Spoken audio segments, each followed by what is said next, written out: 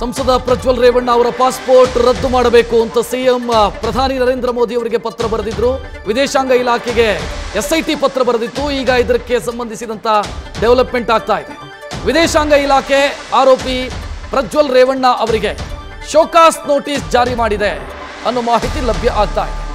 Passport ರದ್ದು ಪ್ರಕ್ರಿಯೆಗೆ notice ಮೂಲಕ ಉತ್ತರವನ್ನ ಎಂಇಎ ಅಂದರೆ ಮಿನಿಸ್ಟ್ರಿ ಆಫ್ ಎಕ್ಸ್ಟರ್ನಲ್ ಅಫೇರ್ಸ್ ಉತ್ತರ ಕೇಳಿದೆ ಅಂದ್ರೆ ನಿಮ್ಮ ಪಾಸ್ಪೋರ್ಟ್ ಅನ್ನ ಯಾಕಾಗಿ ರದ್ದು ಮಾಡಬಾರದು ಅನ್ನೋ ಉತ್ತರವನ್ನ ಪ್ರಜ್ವಲ್ ರೇವಣ್ಣ ಅವರಿಗೆ ಶೋಕಾಸ್ ನೋಟಿಸ್ ಜಾರಿ ಮಾಡುವ ಮುಖಾಂತರ ಕೇಳಿದೆ ಅನ್ನೋ ಮಾಹಿತಿ ಈಗ ಲಭ್ಯ ಆಗ್ತಾ ಇದೆ. ಅಂದ್ರೆ ಇಲ್ಲಿ ಕ್ಲಿಯರ್ ಆಗಿ ಗೊತ್ತಾಗ್ತಾ ಇದೆ ಪ್ರೊಸೀಜರ್ ಸ್ಟಾರ್ಟ್ ಆಗಿದೆ. ವಿದೇಶಾಂಗ ಇಲಾಖೆ ಪಾಸ್ಪೋರ್ಟ್ ರದ್ದು ಮಾಡುವಂತ ಪ್ರೊಸೀಜರ್ ಅನ್ನ ಆರಂಭ ಮಾಡಿದೆ ಅನ್ನೋದು ಸ್ಪಷ್ಟವಾಗಿ ಗೊತ್ತಾಗ್ತಾ ಇದೆ. ಅದರ ಮೊದಲ ಭಾಗವಾಗಿ ಆರೋಪಿ ಅಥವಾ ಯಾರ ಪಾಸ್ಪೋರ್ಟ್ ರದ್ದಾಗತ್ತೋ ಅವರಿಗೆ ಶೋಕಾಸ್ ನೋಟಿಸ್ ಅನ್ನು ಇಶ್ಯೂ ಮಾಡಬೇಕಾಗತ್ತೆ. So show cause notice issue ಮಾಡಲಾಗಿದೆ. ಹೆಚ್ಚಿನ ಡೀಟೇಲ್ ನೀಡೋದಕ್ಕೆ ನಮ್ಮ ಪ್ರತಿನಿಧಿ ಚಂದ್ರಮೋಹನ್ ಫೋನ್ ಸಂಪರ್ಕದಲ್ಲಿ. ಚಂದ್ರಮೋಹನ್ ಹಂಗಿದ್ರೆ ಪ್ರಜ್ವಲ್ ಪಾಸ್ಪೋರ್ಟ್ ಕಳ್ಕೊಳ್ಳುವಂತ ಮೊದಲ ಹಂತದಲ್ಲಿದ್ದಾರೆ ಅಂತ ಗೊತ್ತಾಗ್ತಿದೆ.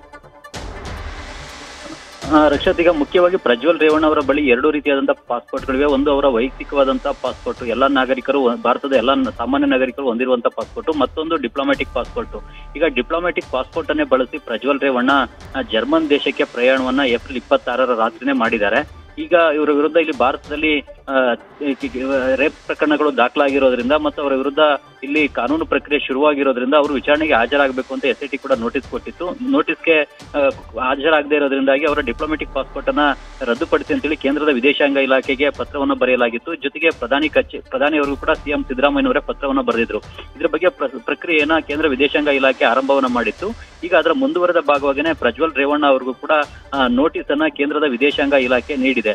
ನಿಮ್ಮ ಡಿಪ್ಲೊಮ್ಯಾಟಿಕ್ ಪಾಸ್ಪೋರ್ಟ್ ಅನ್ನ ನಿಮ್ಮ ವಿರುದ್ಧ ಕ್ರಿಮಿನಲ್ ಕೇಸ್ಗಳು ದಾಖಲಾಗಿರೋದ್ರಿಂದಾಗಿ ಮತ್ತು ನೀವು ವಿದೇಶದಲ್ಲಿ ತಲೆಮರೆಸ್ಕೊಂಡಿರೋದ್ರಿಂದಾಗಿ ಏಕೆ ರದ್ದುಪಡಿಸಬಾರದು ಅನ್ನುವ ಕಾರಣ ಕೇಳಿ ನೋಟಿಸ್ ಅನ್ನ ನೀಡಲಾಗಿದೆ. ಈ ಒಂದು ನೋಟಿಸ್ ಈಗ ಪ್ರಜ್ವಲ್ ರೇವಣ್ಣ ಅವರು ಅಥವಾ ಅವರ ಪರವಾದಂತಹ ವಕೀಲರು ಉತ್ತರವನ್ನ ಕೇಂದ್ರದ ವಿದೇಶಾಂಗ ಇಲಾಖೆ ಮತ್ತು ಪಾಸ್ಪೋರ್ಟ್ ಇಲಾಖೆಯ ಅಧಿಕಾರಿಗಳಿಗೆ ನೀಡಬೇಕಾಗುತ್ತೆ. ಪಾಸ್ಪೋರ್ಟ್ ಕಾಯ್ದೆ ಸಾವಿರದ ಒಂಬೈನೂರ ಅರವತ್ತೇಳರ ಅಡಿನಲ್ಲಿ ಡಿಪ್ಲೊಮ್ಯಾಟಿಕ್ ಪಾಸ್ಪೋರ್ಟ್ಸ್ ಅನ್ನು ಕೂಡ ರದ್ದುಪಡಿಸಲಿಕ್ಕೆ ಅವಕಾಶ ಇದೆ. ಆ ಒಂದು ಪ್ರಕ್ರಿಯೆಯನ್ನ ಈಗ ಕೇಂದ್ರದ ವಿದೇಶಾಂಗ ಇಲಾಖೆ ಆರಂಭಿಸಿದೆ. ಕರ್ನಾಟಕದ ಸಿಐಡಿ ಕೇಂದ್ರದ ವಿದೇಶಾಂಗ ಇಲಾಖೆಗೆ ಪತ್ರವನ್ನು ಬರೆದಿತ್ತು. ಈ ಪತ್ರದ ಆಧಾರದ ಮೇಲೆನೆ ಈಗ ಡಿಪ್ಲೊಮ್ಯಾಟಿಕ್ ಪಾಸ್ಪೋರ್ಟ್ ಅನ್ನ ರದ್ದುಪಡಿಸತಕ್ಕಂತ ಪ್ರಕ್ರಿಯೆಯನ್ನ ನಡೆಸಲಾಗ್ತಾ ಇದೆ. ಒಂದು ಡಿಪ್ಲೊಮ್ಯಾಟಿಕ್ ಪಾಸ್ಪೋರ್ಟ್ ರದ್ದಾದ್ರೆ ಈಗ ಪ್ರಜ್ವಲ್ ರೇವಣ್ಣ ಜರ್ಮನಲ್ಲಿ ಇರುವಂತದ್ದೇ ಅಕ್ರಮ ಆಗುತ್ತೆ. ಹಾಗಾಗಿ ಅಲ್ಲಿ ಜರ್ಮನ್ ಅಧಿಕಾರಿಗಳೇ, ಆಗ ಪ್ರಜ್ವಲ್ ರೇವಣ್ಣ ಅವರ ವಿರುದ್ಧ ಯಾವ್ದಾದ್ರು ಕ್ರಮವನ್ನ ತೆಗೆದುಕೊಳ್ಳಿಕ್ಕೂ ಕೂಡ ಅವಕಾಶ ಆಗುತ್ತೆ. ಇದು ಅವರನ್ನ ಭಾರತಕ್ಕೆ ನೀವು ವಾಪಸ್ ಹೋಗಿ ಅಂತ ಹೇಳಿ ಸೂಚನೆ ಕೂಡ ಕೊಡ್ಬೋದು. ಒಂದು ವೇಳೆ ಡಿಪ್ಲೊಮ್ಯಾಟಿಕ್ ಪಾಸ್ಪೋರ್ಟ್ ರದ್ದಾದ ಬಳಿಕ, ಒಂದು ವೇಳೆ ವೈಯಕ್ತಿಕ ಪಾಸ್ಪೋರ್ಟ್ ಕೂಡ ಇಲ್ಲದೆ ಹೋದ್ರೆ, ಅವರು ತಕ್ಷಣವೇ ಅವರು ಪ್ರಜ್ವಲ್ ರೇವಣ್ಣ ಭಾರತಕ್ಕೆ ಬರಬೇಕು ಅಂತ ಏನಾದ್ರು ಕೂಡ ಬಯಸಿದ್ರೆ, ಅವರು ಯಾವ ದೇಶದಲ್ಲಿ ಇರ್ತಾರೋ ಆ ದೇಶದ ಭಾರತದ ರಾಯಭಾರ ಕಚೇರಿಗೆ ಹೋಗಿ, ನಾನು ಭಾರತದ ನಾಗರಿಕ, ನಾನು ಭಾರತಕ್ಕೆ ವಾಪಸ್ ಹೋಗ್ಬೇಕು ಅಂತ ಮನವಿಯನ್ನ ಮಾಡ್ಕೊಂಡ್ರೆ, ಅಲ್ಲಿನ ರಾಯಭಾರ ಕಚೇರಿನೇ ಒಂದು ತಾತ್ಕಾಲಿಕ ಪಾಸ್ಪೋರ್ಟ್ ಅನ್ನ ಪ್ರಜ್ವಲ್ ರೇವಣ್ಣ ಅವರಿಗೆ ಕೊಡ್ತಾರೆ.